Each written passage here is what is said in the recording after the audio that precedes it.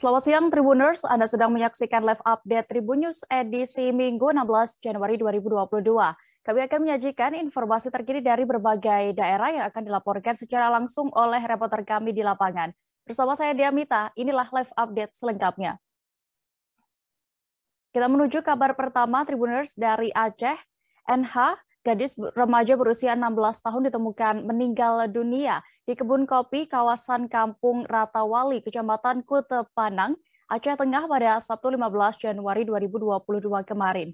Penemuan mayat perempuan muda ini langsung menghebohkan warga setempat.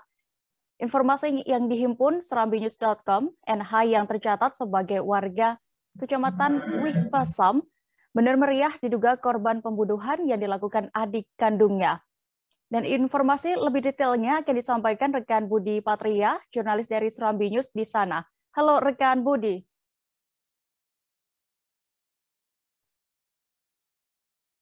Halo rekan Budi. Halo Dea. Iya, rekan Budi silakan bisa Anda informasikan terlebih dahulu kronologis kejadian ini dan bagaimana kondisi uh, gadis ini saat ditemukan. Ya Dea, Berdasarkan keterangan dari Kasat Reskrim Polres Aceh Tengah itu Ibrahim, awalnya korban bersama adik kandungnya pada Jumat 14 Januari, Januari 2022 pergi ke Ketol Aceh Tengah menggunakan sepeda motor. Mereka itu eh, ke Ketol untuk mengambil uang senilai Rp900.000. Namun saat pulang dari Ketol, korban bersama adiknya singgah di rumah keluarganya di kawasan Kampung Kota Panang perbatasan Benemeriah dengan Aceh Tengah.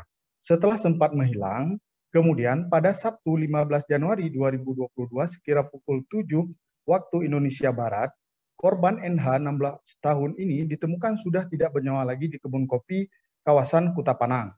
Saat ditemukan, korban dalam kondisi terbaring dan ada ceceran darah keluar dari hidung. Terkait perkara ini, pihak kepolisian masih menunggu hasil visum dari Rumah Sakit Umum Daerah Datu Beru Takengon. Begitu dia.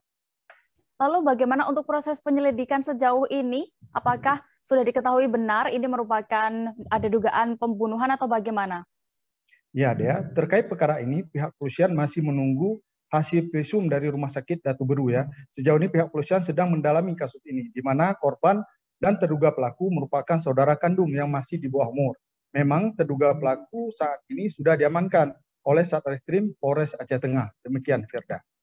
Baik, terima kasih rekan Budi untuk laporan Anda langsung dari Aceh Tengah. Selamat bertugas kembali. Terima kasih sudah nonton. Jangan lupa like, subscribe, dan share ya.